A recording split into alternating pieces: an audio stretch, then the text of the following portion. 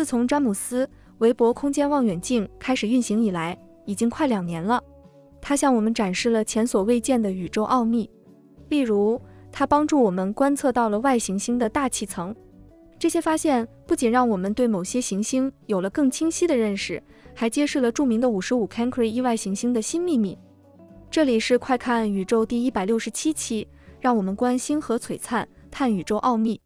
近期的研究显示，包括 WASP-ADB 在内的几颗行星周围发现了甲烷，这意味着像海王星和天王星这样的冰巨星在许多恒星系中都有类似的特征。通过分析 WASP-17b 一颗距离我们一千三百光年的炽热木星大气层，科学家们发现了由石英组成的不寻常晶体云。这些发现证明了詹姆斯·韦伯望远镜在发现这些微小元素方面的卓越能力。五十五 Cancri 星系也称为 Copernicus 星系，是一个距离我们大约四十一光年的双星系统。主星 Copernicus 的质量略小于太阳，属于 K 型恒星，而其伴星为一颗较小的红矮星。这个星系至少拥有五颗行星，其中最引人注目的是五十五 Cancri e，也被称为詹森行星。这颗行星的质量大约是地球的八倍。根据目前的观测数据和模拟结果，它被认为是一颗类地行星，可能具有非常热的熔岩表面。五十五 Cancri e 的母星 Copernicus 质量比太阳略小，由于五十五 Cancri e 距离母星非常近，因此表面温度极高。由于潮汐锁定，这颗行星的一面永远面对着母星，而另一面则永远处于夜晚。阳面的气温超过一千七百摄氏度。足以融化铁，而阴面的温度则可能稍低，大约在一千一百摄氏度左右。这样的极端温度条件使得五十五 Cancri e 成为一个极为特殊的对象，引起了天文学家们的浓厚兴趣。自从二十多年前发现五十五 Cancri e 以来，它一直是天文学研究的热点之一。发现它曾经是如此令人兴奋，以至于一些科学家决定向这个星系发送信息。这是乌克兰 Meti Messaging to Extraterrestrial Intelligence 信号项目的一部分。该项目被称为 Cosmic Call。理论上，这些信号将在2044年到达55 Cancri e，尽管这并不是目前研究的重点。重点在于55 Cancri e 是一颗绕着类似太阳的恒星运行的类地行星，它的存在挑战了我们对行星形成和生命存在条件的传统理解。它的质量远大于地球。距离母星也比地球近得多。这个星系如此明亮，以至于即使没有望远镜，人们也可以用肉眼看到它。而如果有合适的望远镜，人们甚至可以观察到五十五 Cancri 依绕 Copernicus 运动。这种运动表现为大约每十七小时一次的亮度小幅下降。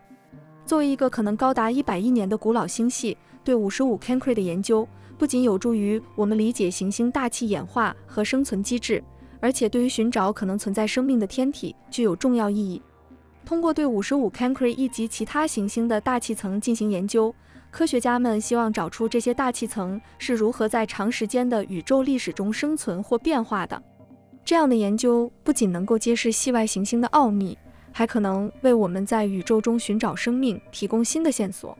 在二零一六年，哈勃太空望远镜对系外行星五十五 Cancri e 的大气进行了初步观测。结果显示可能存在氢和氦，但并未发现水蒸气的迹象。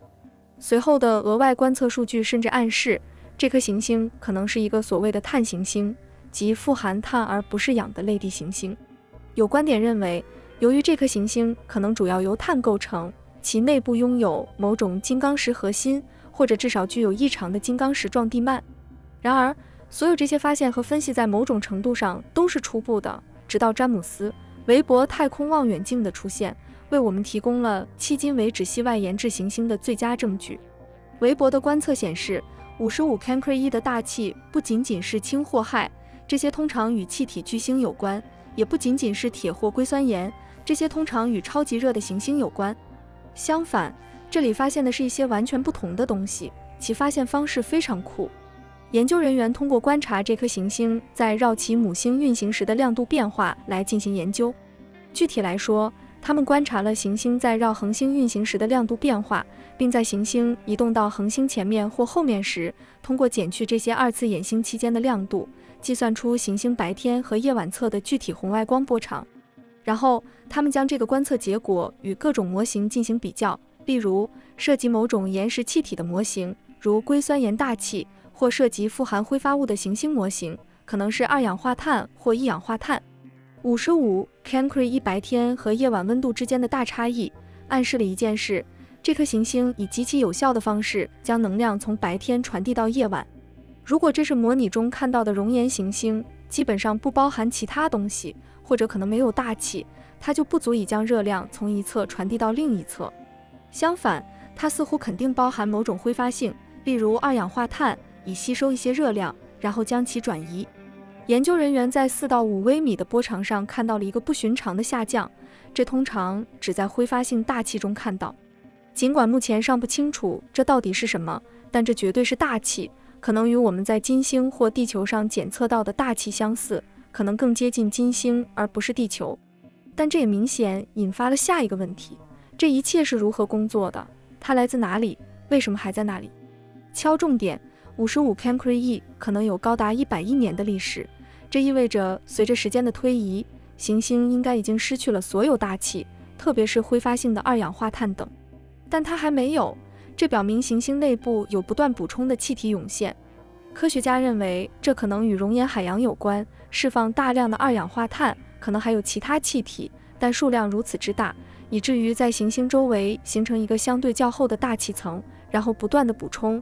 从某种意义上说，这与发生在金星上的情况类似，还有曾经发生在地球上的情况。既然我们看出这是一个可持续的机制，可能会持续数十亿年。当谈到发现系外行星和潜在的超级地球时，这绝对是一个非常重要的发现。它证实了大气层实际上可以存在很长时间，可以根据不同的条件再次由各种行星创造。最重要的是，可以包含与地球相似的生物分子。重要的是，探测技术正在变得越来越好，所以很可能在明年左右，我们会听到超级地球可能位于宜居区，也有某种非常有趣的大气层。因为正如这项技术所展示的，通过研究二次衍星，研究人员可以弄清楚行星被什么覆盖，所以这只是时间问题。我们会发现一个可能包含与太阳系中内地行星相似条件的外行星。如果我们足够努力寻找，甚至可能会找到与地球相似的外行星。现在寻找可居住行星和外星生命仍然非常具有挑战性，并且肯定需要多年的确认，但可能在明天。我们将会听到一些令人兴奋的发现，这些发现将会彻底震撼每个人。这些发现不仅会让我们对宇宙中的生命存在有更多的了解，也会激发我们对于未来探索和发现的无限憧憬。